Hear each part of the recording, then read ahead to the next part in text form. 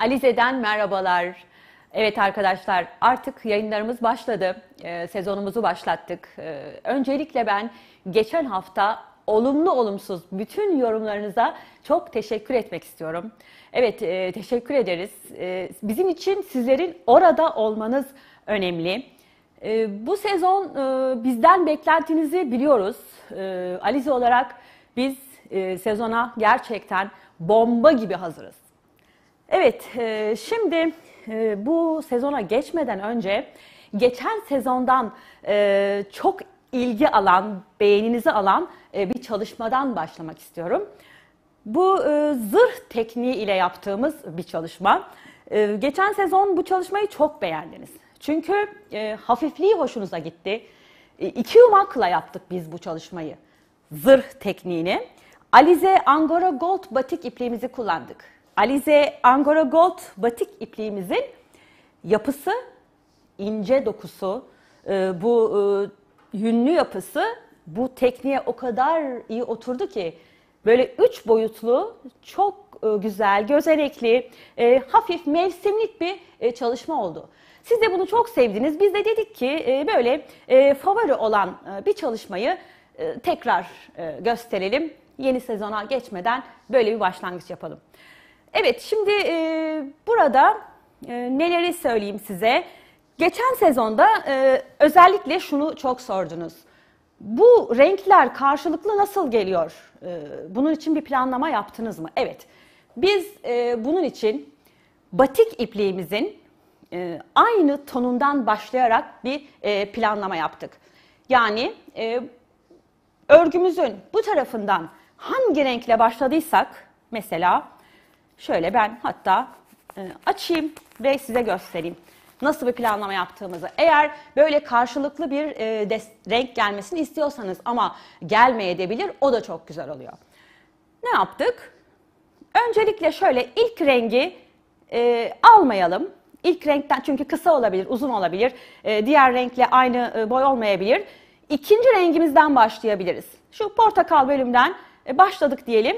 Diğer yumağında e, başlarken diğer önü yine aynı portakal bölümden başlarsanız e, iki tarafı tam e, eşit görünümde yapabilirsiniz arkadaşlar. Evet başka yine şöyle bir soru vardı geçen sene aldığımız. Bu çalışma ütüleniyor mu? Hayır bu çalışmayı biz ütülemiyoruz. Çünkü o kadar güzel üç boyutlu bir dokusu var ki bunu ezmiyoruz. Zaten bu işin özelliği bu. Böyle e, hafif hacimli bir doku oldu. Şimdi ben ölçüleri ve e, ilmek sayılarını vererek hemen işe geçmek istiyorum. Evet, e, ölçümüz bu e, 36-38 beden için bir hırka. E, aslında arkadaşlar iki yumak diyorum ama biliyor musunuz 170 gram. iki yumak bile değil şaka gibi. O, o kadar e, iyi oturdu ki bu angora'nın yapısına bu teknik. Şimdi ön ilmek sayımız bizim 56 ve 7 numaralı şiş kullanıyoruz. Bu e, işin özelliği iki farklı şiş numarası kullanmamız. 7 ve 3. 7 numaralı şişimizle ilmeklerimizi atıyoruz. 56 ilmek. 35 santim örüyoruz. 35 santim sonra kolda 3, 2, 1, 1, 1 ilmeklerimizi kesiyoruz. Sonra devam ediyoruz. Bir 10 santim kadar. E, burada 16 tane ilmeği kapatıyoruz. 16 ilmekten sonra 3, 2, 1, 1. Yakada kesinti yapıyoruz. Sonra dümdüz örerek çıkıyoruz. 10 santim kalana kadar omzumuz. Arka için ilmek sayımız 100. 100 ilmek başlıyoruz ve örüyoruz. Kol için ilmek sayımız 50. 50 ilmekle başlıyoruz. Kolumuzu örüyoruz. Örerken e, böyle 3, 4, 5 ilmekte bir e, birer tane yanlardan kolunuza göre arttırıyorsunuz. Ölçüyorsunuz kolunuza ondan sonra normal kol kesimi gibi kesmeyi yapıyoruz. Gelelim yeleğimize. Yeleğimiz 40-42 e, beden bir yelek. E, bunu Angora e, Gold ipliğimizle ördük. Alize Angora Gold düz renk oluyor. Burada beden tabi biraz daha büyük ve 70 ilmekle başladık biz enimizi. Arkada 110 ilmek. Kol altına kadar yine 35 santim ee, burada kol evi her zaman söylediğim gibi 20-22 santim arası. Burada da 22-22 santim arası. Sadece burada yaka farklı. Ee, şimdi yakayı birer tane ilmek sadece arka yönde e, kesiyoruz, azaltıyoruz 40 ilmek kalana kadar. 40 ilmek kaldıktan sonra zaten e, ilerleyip şu kol evi 20-22 santim olana kadar ilerleyip kapatıyoruz örgümüzü. Arka ilmekleri de söyleyeyim 110 ilmek. Şimdi bu 40-42 beden dedik. Bu da bir buçuk yumaktan çıktı arkadaşlar. Bir buçuk yumak kullandık. Fakat e, siz bunu 44-46 bedene e, kadar büyütebilirsiniz. O zaman da gidecek olan yumak sayısı sadece 2. Evet oldukça ekonomik, e, çok kolay bir çalışma. E, biz bu çalışmayı sizlerle bir e, tekrar etmek istedik. Şimdi hemen çalışmaya geçelim. Ondan sonra yine e, tabii canlı yayınlarımız içerisinde e, sorularınızı alabiliriz. İstediğinizi sorabilirsiniz arkadaşlar. Burası bizim. Yayını uzatabiliriz. İstediğiniz soruya cevap verebiliriz. Hepsi mümkün. Peki başlayalım. E, sizlerin görebileceği en iyi şekilde şimdi örmeye çalışacağım. Evet. Alize e, Angora Gold batik ipla, iplik kullandık dedik. Hatta ben e, mankeni de yanıma alayım. Şöyle onun üzerinden konuşayım. Böyle daha iyi olacak. En azından e, nerelerde kesme işlemi yaptık onları gösteririm. Bu çalışma sizin çok işinize yarayacak ve çok beğeneceksiniz. Gerçekten e, madem el örgüsünü seviyoruz bu çalışmayı mutlaka denemenizi öneriyorum. Evet, e, Alize Angora Gold batik ipliğimizi kullandık. Tabii bu e, geçen sezon rengimiz. E, burada çok yeni renklerimiz de var. Bu sezon için şöyle birkaç tane renk göstermek istiyorum. Bunlar da çok güzel. Böyle e, renklerle de denemelerinizi yapabilirsiniz. Evet. Tabii bunlar sadece burada gösterebildiklerim daha çok var. 7 ve 3 numaralı şiş kullanıyoruz dedik. Şöyle.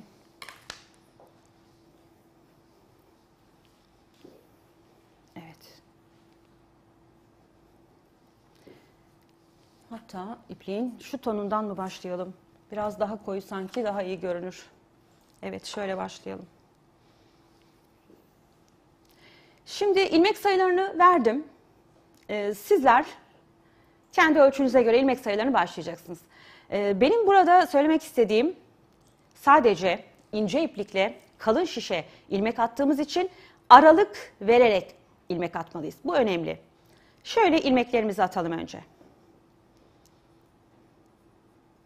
İlmeklerimizi atıyoruz. Ben e, az bir miktarda ilmek atarak sizlere zırh tekniğini e, göstermeye çalışacağım. Şöyle görünüyor mu arkadaşlar? İyi mi? İyiyse böyle devam edeyim. İyi mi? Tamam. Şöyle birkaç tane ilmek attım. Sizler e, bedeninize göre ilmek sayısını atacaksınız. Şimdi 3 numaralı şişimi aldım. Burada e, mantık şu. Bir ters, bir düz örgü arkadaşlar. Lastik örgü. Hepiniz lastiği biliyorsunuz. Sadece e, bu dokuyu sağlayan şiş farkı ve burada bir ilmeği biraz farklı almamız. Şimdi ters örgü örüyoruz. İlk ilmeği ters örgü örüyoruz. Şişimizi böyle ilmeğin arasından geçirip ters örgü ördük. İpliğimizi arkaya atıyoruz. Şimdi düz örgü örüyoruz. Düz örgüyü örerken en büyük fark şu. Şişimizi ilmeğimizin arkasından geçiriyoruz. İpliğimizi arkadan alıp öne veriyoruz ve yukarı çekiyoruz. Tekrar ipliğimizi öne alıyoruz, düz örgü örüyoruz. Pardon, ters örgü örüyoruz. Ters. Bir ters, bir düz. İpliğimizi arkaya atıyoruz. Yine ilmeğin arkasına geçirerek düz örgü örüyoruz. İpliğimizi öne alıyoruz, ters örgü örüyoruz. Evet, bu arada sorularınızı da alabiliriz. Ee, ne sormak istiyorsanız sorabilirsiniz. Evet, kol kesimini sayı olarak söyler misiniz? Hemen bir soru gördüm. kol kesimini sayı olarak e, biraz sonra göstereceğim. Oradan izleyebilirsiniz. Şimdi örneğimizi kuralım. Kol kesimini sayı olarak tekrar vereceğim. Biraz önce söylemiştim ama onu biraz sonra göstereceğim. Eğer izlemeye devam ederseniz görebileceksiniz. Peki bakalım. Şimdi arkadan alarak düz örgü ve ters örgü olarak bitirdim ilk sıramı. İkinci sırada aynı. Çok kolay demiştim. Şiş numaraları aynı devam ediyor. Eşlerini almıyorum. Bütün fark burada. Yine düz örgü, şişimi arkadan geçiriyorum. Düz örgü örüyorum bir ilmek, ipliğimizi öne alıyoruz, ters örgü örüyorum. Bu şekilde arkadaşlar sadece bu kadar örnek. Bir ters bir düz. Ama e, Angora'nın bu yapısı inanılmaz oldu. Yakından görmenizi çok isterim. Ama tabii bu mümkün değil ancak deneyerek görebileceksiniz. Evet. Yine e, böyle sırayı tamamlayayım. Sonra hemen kol ve yaka kesimlerine geçelim ve tamamlayalım yayınımızı. Evet. Bitirdik. Şimdi örgümüz bu. Bir ters bir düz. Lastik. Sadece şişlerimiz 3 ve 7. Düz ilmekleri arkadan alıyoruz. Bunun dışında her şey bir ters bir düz. Bu kadar. Ve şöyle bir doku çıkıyor. Gösterelim mi? Görünüyor mu arkadaşlar? Görünüyor mu? Evet. Böyle bir doku çıkıyor. İnanılmaz. Yani hislerimi böyle söylemek istiyorum. Siz de hissedebilin diye. Şimdi gelelim yelek V yakaydı. V yaka bir yeleği nasıl keseceğiz? Kesimini nasıl yapacağız o yakanın? Burada e, örgünün sadece tek tarafından e, birer tane ilmek keseceğiz. Mesela örgünün sadece bu tarafından bir ilmek kesmek için şunu yapıyorum. Burada e, düz ilmeğim var. Düz ilmeği örmüyorum. Yanında ters ilmek var. Ters ilmek yönünde alıyorum ikisini birlikte. İki ilmeği birlikte alıyorum. Ters ilmek örüyorum. Neden? Yanında düz ilmek beni bekliyor. Düz ilmeğin e, yapısını bozmamak için. Ters ilmek, iki ilmeği birlikte aldım ve bir ilmek eksiltmiş oldum.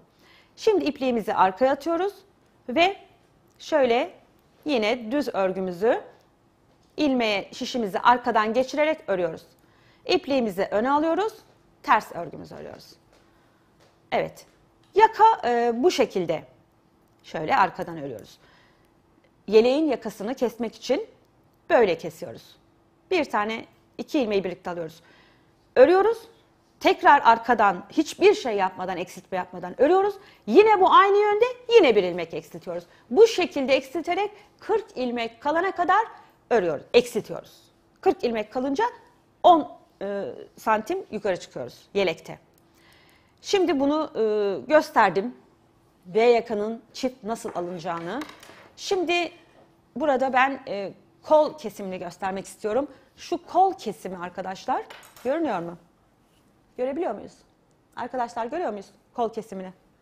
Göstereyim. Burada 3 tane kesiyoruz. Sonra 2 tane birlikte kesiyoruz. Sonra 1, 1, 1. 3, 2, 1, 1, 1 ilmeği kesiyoruz ve hiç kesmeden düz ilerliyoruz. Şimdi o kesme işlemini nasıl yapacağız? Onu göstereyim.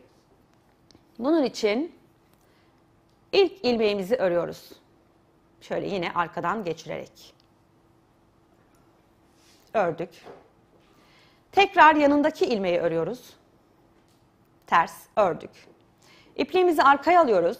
İlk ördüğümüz ilmeği ilk ördüğümüz ilmeği ikinci ilmeğin üzerinden geçiriyoruz arkadaşlar. Geçirdik. İpliğimizi tekrar aynı şekilde arkada kaldı. Devam ediyoruz.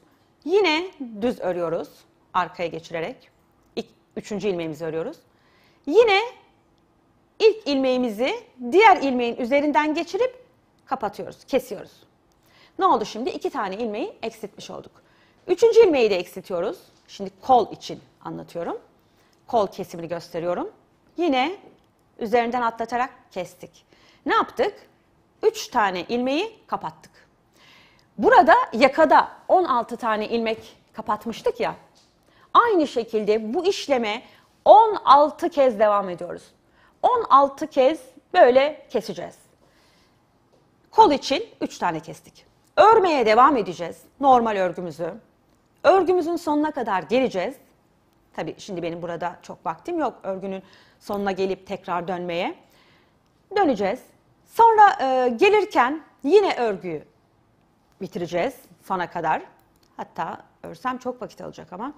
E, yine keserken bu sefer bu taraftan iki tane ilmek keseceksiniz.